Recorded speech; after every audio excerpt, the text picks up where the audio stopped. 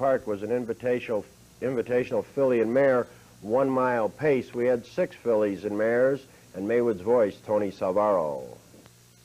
Go, be go. Ranging up in fifth on the inside. It's Linda Leader. Out of the turn, moving up the backstretch. It's Pike Creek. Suzy now to power into command. On the inside, it's Toby Lee in second. Rush Creek. Havens now moving third. Now moving second on the outside. They're by the three-quarter mile mark. Your leader is Pike Creek. Suzy Rush Creek. Havens is two lengths back in second on the inside. It's Toby Lee in third. On the outside, it's Go, be go. Now they're in a final eighth of a mile. And your leader, Pike Creek Suzy. Here they come, turning for home. Pike Creek Suzy cuts the corner. Rush Creek Havens is out for the drive. It's Pike Creek Suzy and Rush Creek Havens. It's Pike Creek Suzy, Rush Creek Havens, and Jenny Zero.